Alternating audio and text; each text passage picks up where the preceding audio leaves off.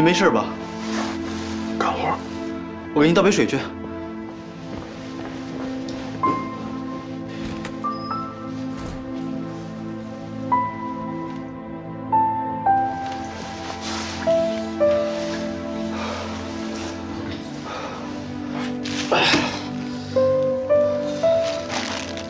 秦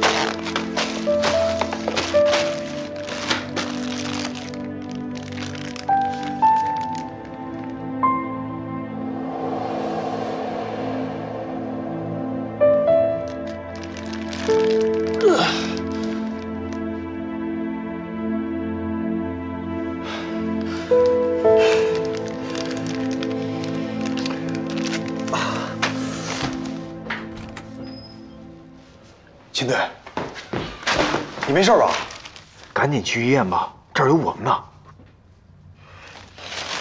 我没事。不出意外的话，他不存在什么意外，肯定是他一个人。基本上可以排除申健康参与的可能性了。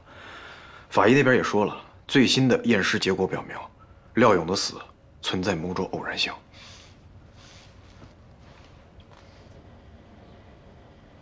勇哥，我没钱了，我把能给的钱都给你了，所有钱我都拿去移民做音乐，我身上没钱了。妹妹，甭说那些没用的啊，钱拿来，照片拿走。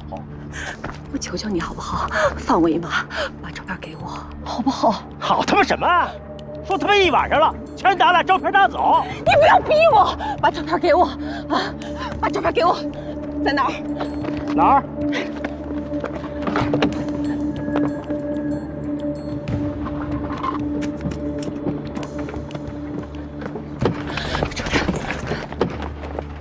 他妈给你，给你脸了是吧？啊，臭不要脸的你！你给我滚开！你去呀！别给我不要你！让开！给我让开！让开！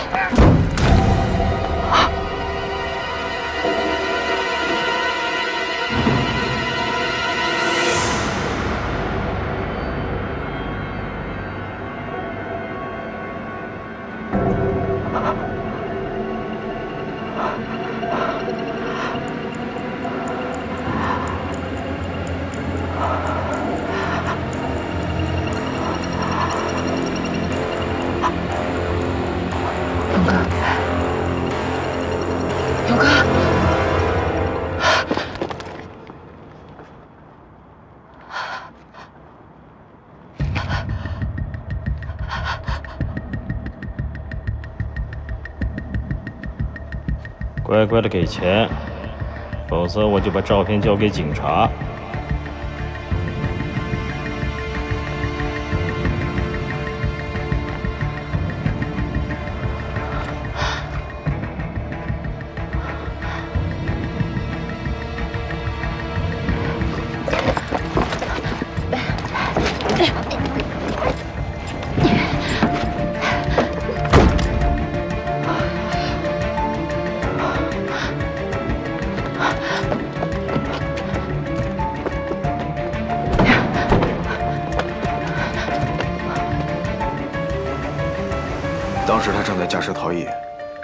小心撞到的高秀芳，水箱坏了，车没法发动，他就把车弃到了北里小街附近，步行跑回的海帆酒吧。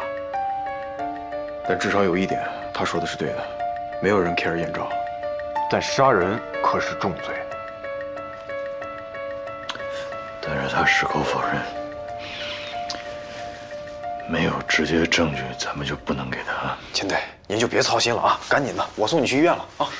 必须找到证据。好了，走走走走。再不去医院，就得给你收尸了。赶紧开车去。哎，走。哎，等会儿，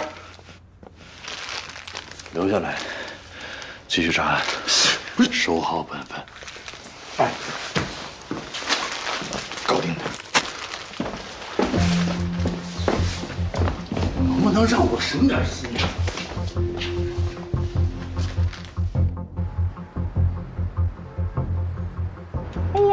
棒了！嗯，哎哎，差一点儿，差这个啊，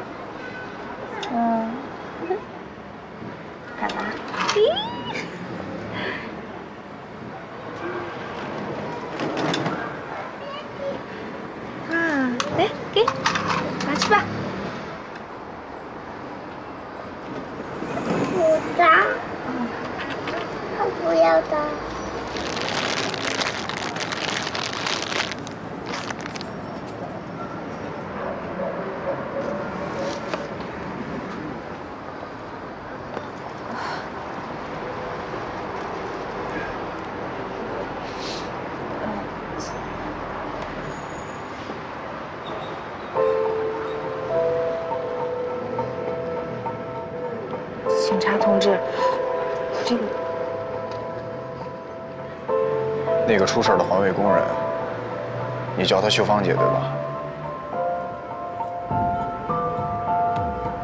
她也有孩子，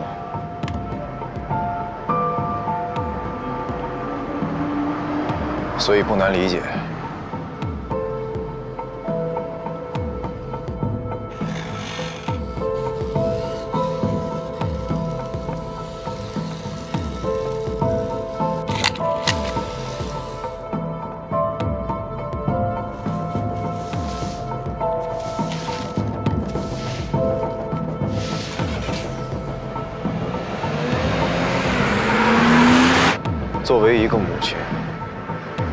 在第一时间选择奋不顾身。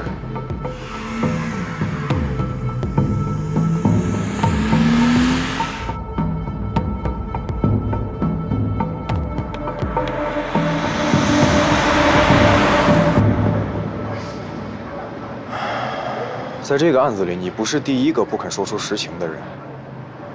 我不去评判任何一个人的自保行为，但是在这个时候，我希望有人能站出来，替这个死去的母亲做点什么。她也有孩子，也有家人，他们也想知道，高秀芳到底是一个不幸遇害的目击者，还是一个见义勇为的烈士。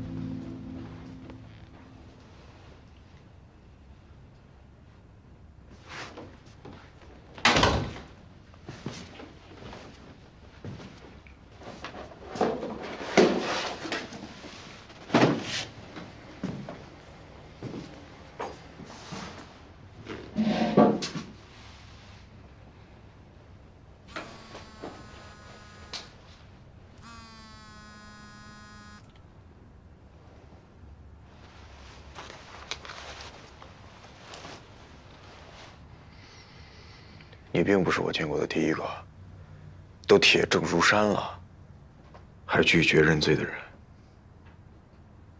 我也不怕告诉你，九年前周岩的死，虽然我们已经掌握了证词里你说的谎，还有那件睡裙。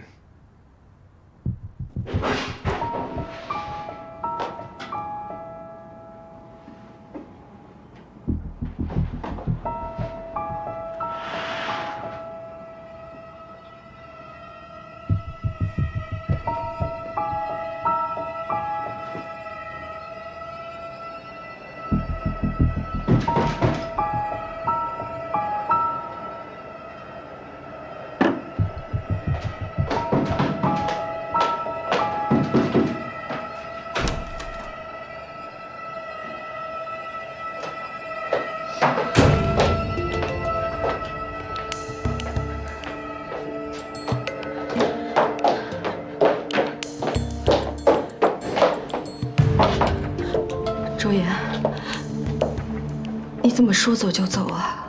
你都不跟我们商量一下吗？我有必要跟你们商量吗？你走了，我们怎么办？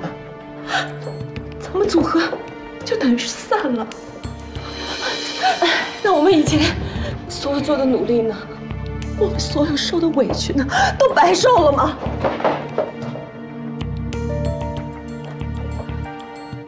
你再好好想一想，好不好？周爷，我求求你，再好好考虑一下，可不可以不要走？爷爷，爷爷，虽然我们已经确定那块进了水的表就是属于你。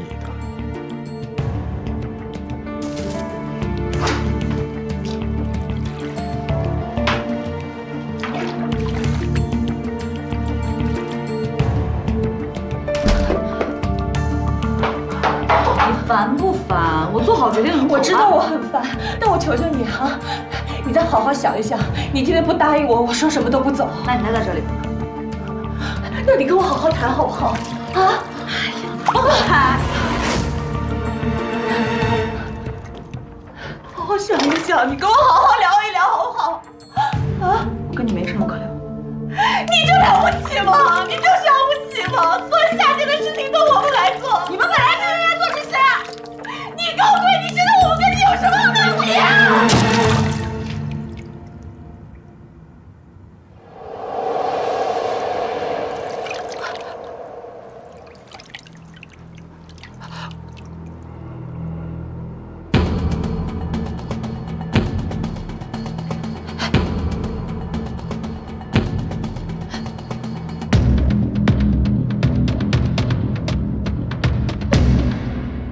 虽然我们已经大概勾勒出了整个事情的经过，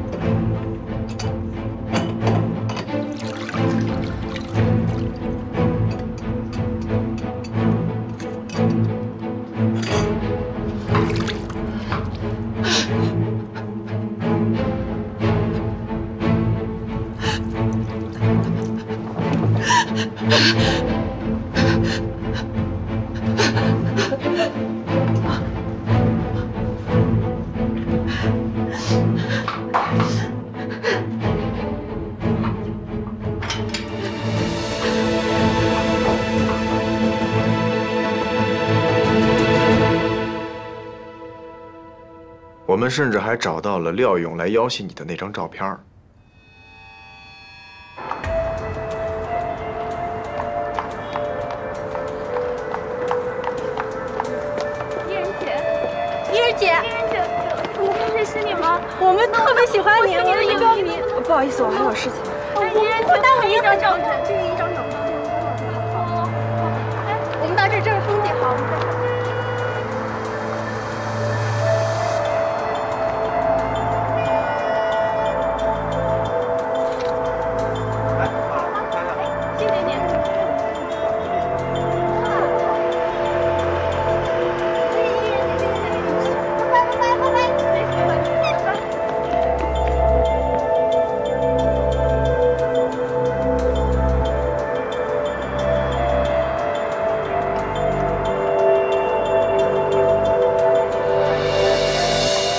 在你死不开口的情况下，我们目前没有直接证据拿来给你定罪。很有挫败感吧，警官？不，我并不觉得最终的刑罚结果会有任何区别。要说挫败感，周岩死了那么多年，你一刻都没有摆脱过吧？当初你跟周岩是最好的朋友，也许你喜欢他，也许你崇拜他，但最重要的是，你想成为他。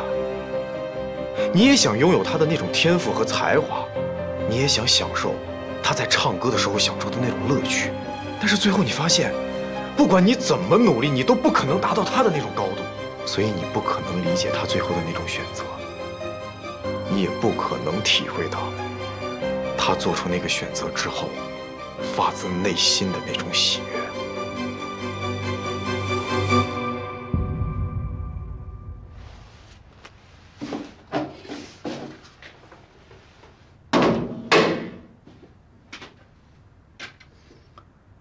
这张 CD 的歌词，完整版的你应该都看过了。截止到你听到的部分，你模仿的都很像。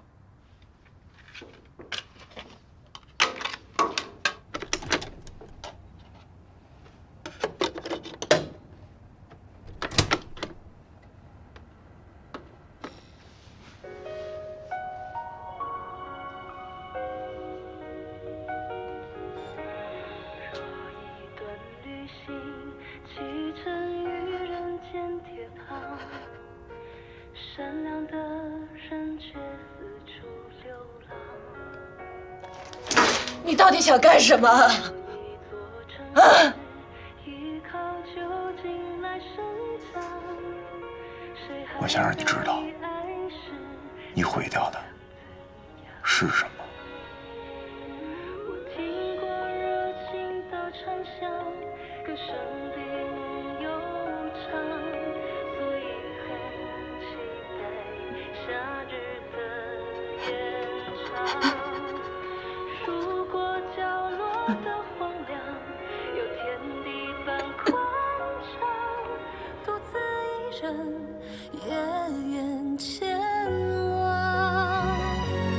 好吧，就趁天微亮起航，第一个叫醒曙光，让每段呼吸撑着翅膀，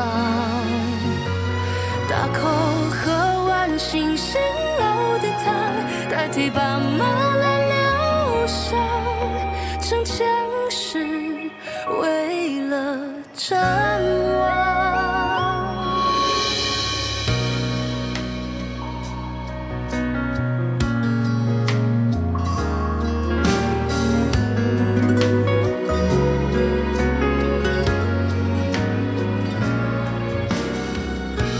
在办案中，通常很难得到对方的全盘信任。我们强调的公正、独立，往往给自身带来了曲解和周围人的疏离，是为公理提供了最正当的守护。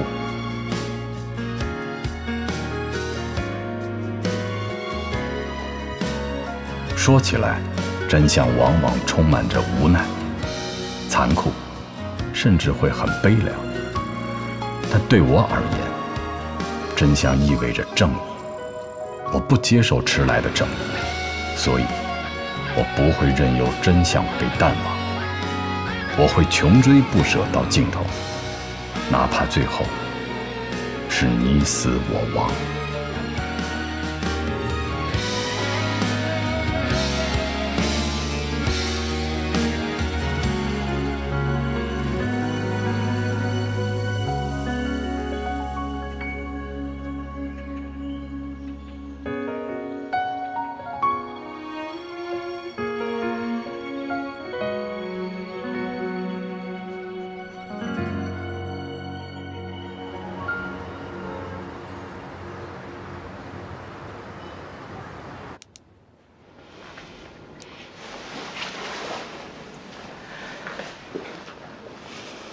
你明明知道有毒品进入了他的头部器官，为什么不早点送他来？甲基苯丙胺和二甲基苯丙胺这种东西是很难代谢掉的。我说你们干公安的都是弱智吗？刚才他看着还好好的，好好好好什么好？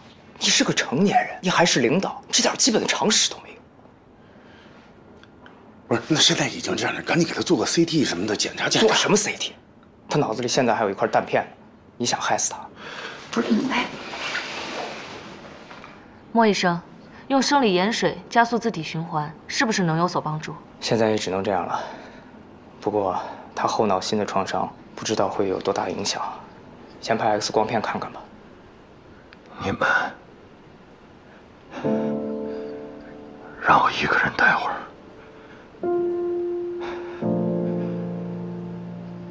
两分钟就好。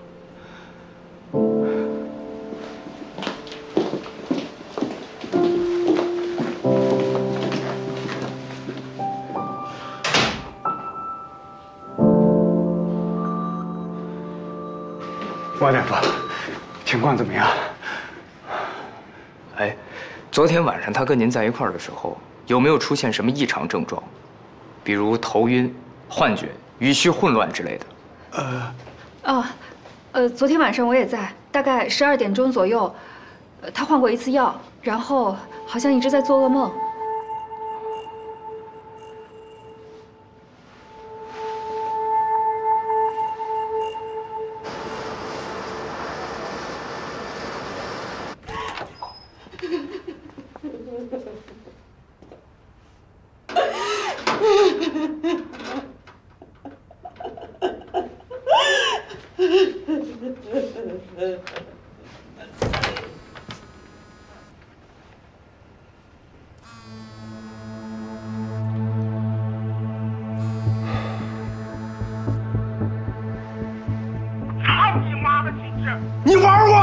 老子他妈手残了，你他妈还我！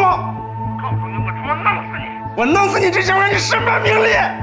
你还有精神打电话过来瞎嚷嚷，说明秦队对你下手还是不够狠呢。你是谁？我跟秦队一直都在找你。你开的枪？如果是我，你是不是应该更担心你的另一只手啊？你他妈也得死！你和秦志都得死！我都得死！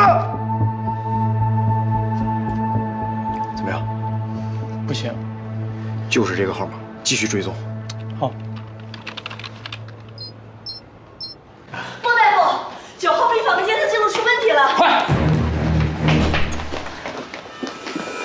快，把他抬到头上！小心！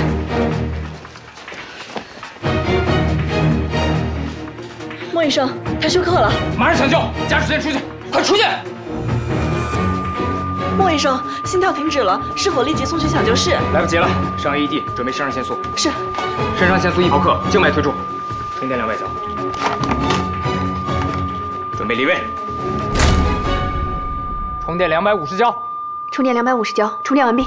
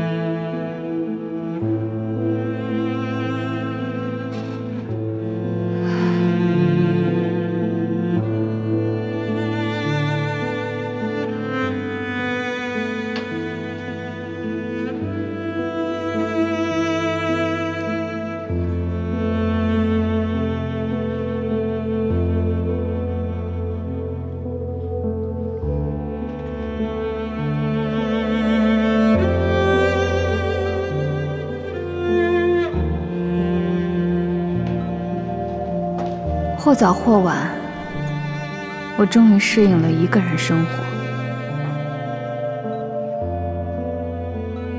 一个人起床，一个人走在路上，一个人吃饭，没有人照顾我，我也不需要照顾任何人。很多时候，我会不停的找事情做来排解，让生活变得有条理，甚至是精致一些。虽然到头来心里很清楚，这一切只是为了强调自己的存在。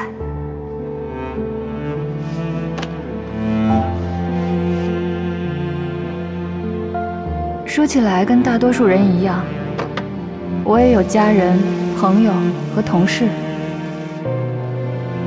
每天我都会和他们其中的某一部分产生交集，但我确实又是一个人。想来，孤独只是一种心情，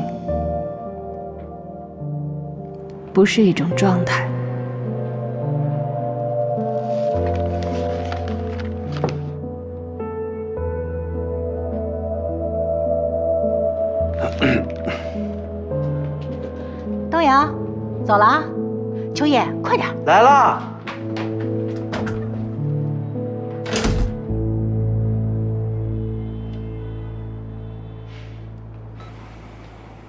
嫂子，医生不是说了吗？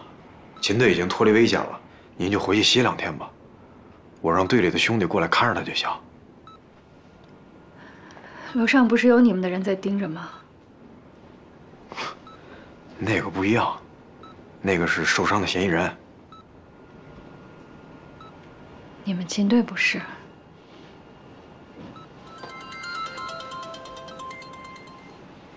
不好意思啊，队里打过来的。没事儿，你接吧，你吵不醒他的。我我还是出去回一下吧。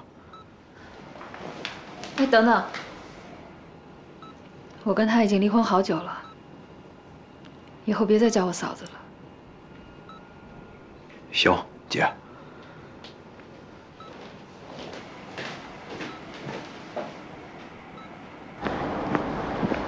邱处长，胡队长，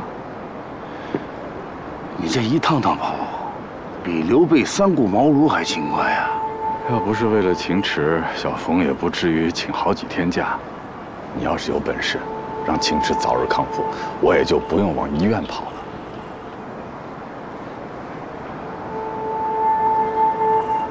哎呦，邱处，部队，回队里啊？啊，银号胡同刚刚报了起命案，兄弟们都去了。您看，你全员处理了。哎，叫队里来车接你了吗？要不开我车？不用，嫂子，不是，冯姐把秦队的车钥匙给我了。行，去吧。哎。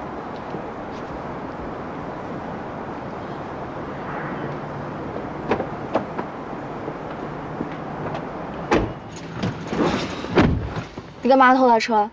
我怎么就偷？你能不能注意一下你的措辞？秦队把钥匙给我的。他醒了。啊，不是，他前妻让我把车开回去。这已经是前妻了，他有什么资格让你这么做呀？他俩这事儿吧，说不清楚。不是我问你呢，你怎么在这儿啊？他不是不让你跟着他吗？管不着。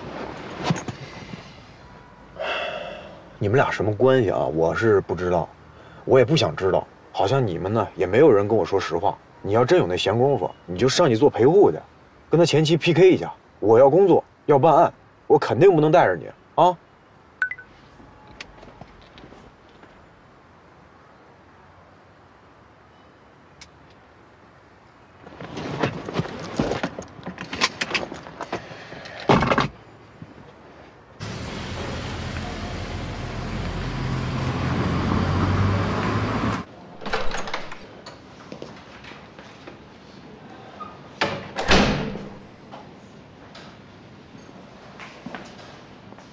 既然来了，怎么不进去看一眼？许你盯着下属，就许我盯着秦池。副支队长在里面躺着，支队长在外面把岗。难不成秦池昏迷不醒，整个西关支队就停止运作了？下午会上肯定会有新的指派，停止运作倒不至于。胡队，楼上那个，行你们先聊着。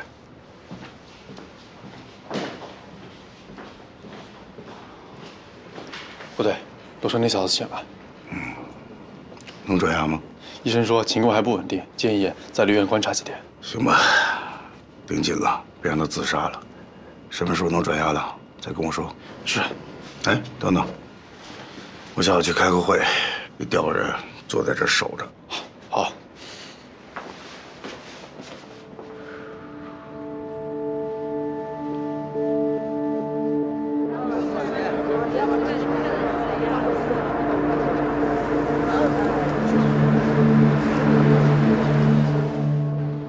你去哪儿我不管你，但是你不能跟我进现场，特别是警戒线，半步你都不能踏进去，听见了吗？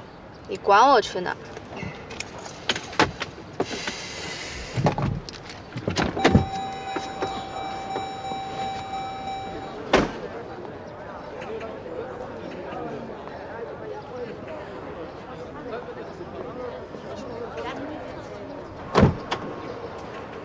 嘛呢？下车呀！我现在不想下车。那你想干嘛呀？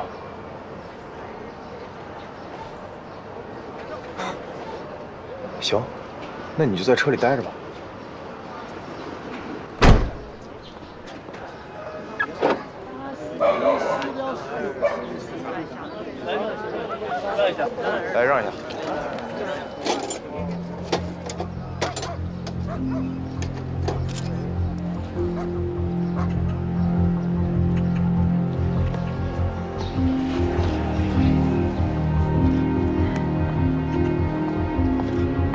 什么情况了？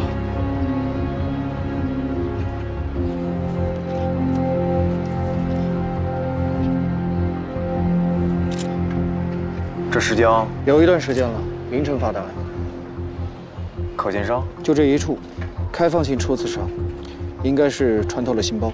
这凶器挺宽呀，还是平刺，还恰巧躲开了骨头，技术含量挺高啊。没准是运气好呢。把他搬回队里吧，看看到底是不是因为运气。哎，陆哥，哎，这死者啊，名叫刘昊天，三十三岁了，是金富律师事务所的合伙人，是清洁工早晨六点的时候报的案。根据妻子王平的介绍呢，我们推测，很可能是凌晨三点多的时候，穿过这条小道遇害的。他住这附近啊？啊，他不住这儿，他住前面的银浩小区。是这样的，陆哥，啊，刘昊天昨天晚上给家里打了电话，说是有应酬。晚些回去，妻子凌晨三点多的时候给他打电话，刘昊天说正在回去的路上，后来电话就中断了。我们推测啊，这个时间很可能是死者遇害的时间。凶器呢？现场目前没有发现疑似凶器的物品。这儿离居民楼这么近，有没有什么目击证人啊？或者说他们昨天夜里有没有听到什么异常的声响？据我们走访了一大圈，凌晨三点多确实没有。随身物品。这边，陆哥。现场我们只发现了一个黑色手包和一部手机。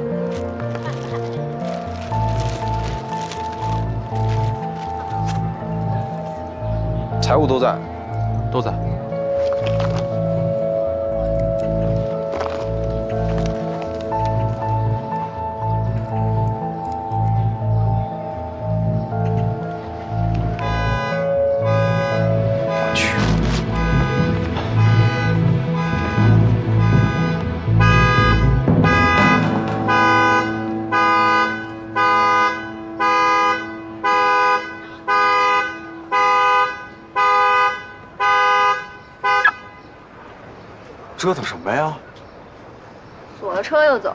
憋死我呀？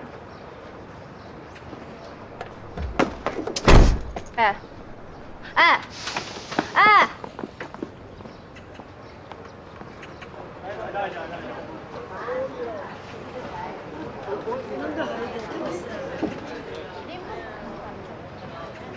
打电话查一下被害人名下这两辆车的车牌号。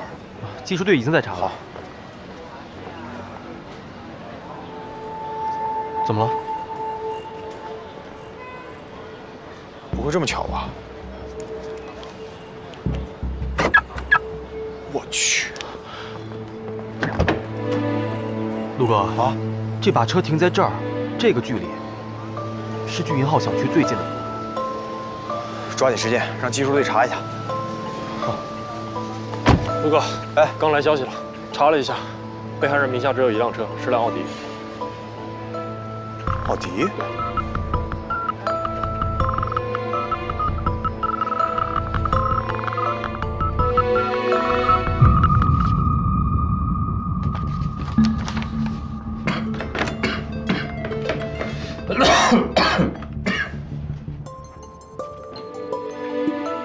好，我是督察处的邱东阳。上次请你们帮我查的陈岩，查的怎么样了？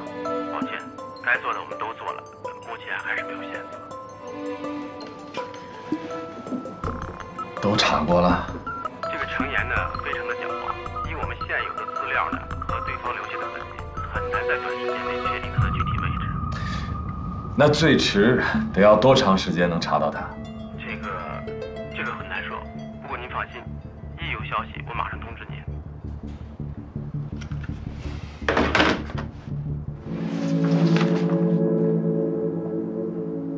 程岩，跟咱们定位追踪的是同一个人吗？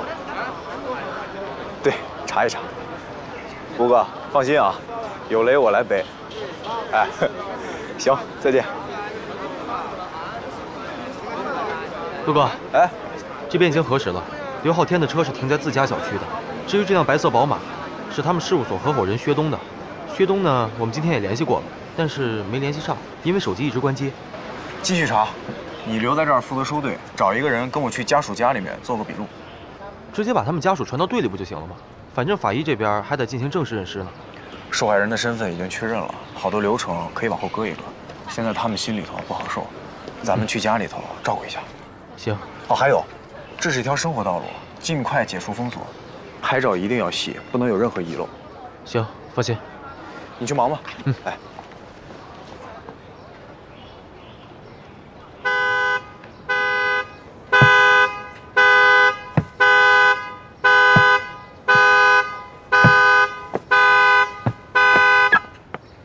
你要干什么呀？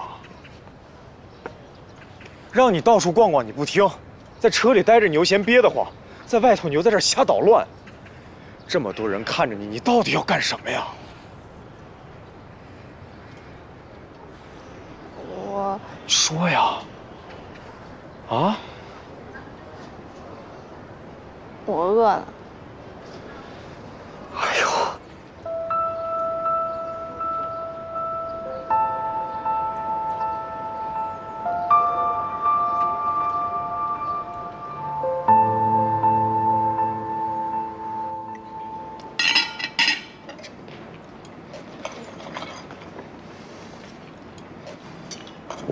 工作要忙，你还要吃多长时间？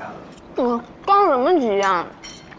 吃饭你不能催，不让人吃踏实的你。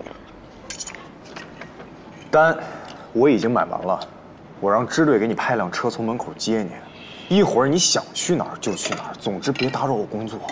我先走了。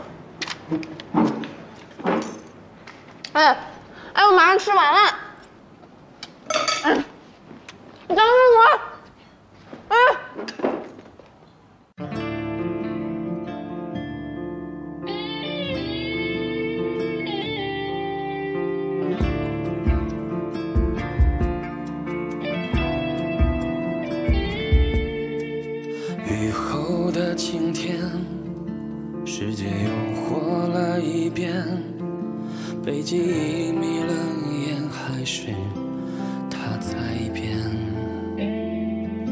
梦见熟悉的脸，来自陌生的从前，有个真心的我，对过去说抱歉。